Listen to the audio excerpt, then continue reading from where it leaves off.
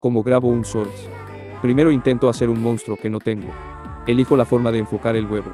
De lejos o de cerca. Luego hago el proceso de romperlo. Y grabo la animación en la cual el monstruo se coloca en el árbol. A continuación busco un lugar donde colocarlo.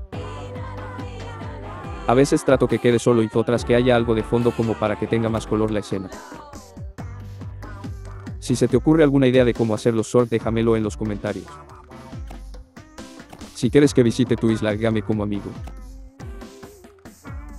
Por lo general le doy de comer, para que se vea más grande.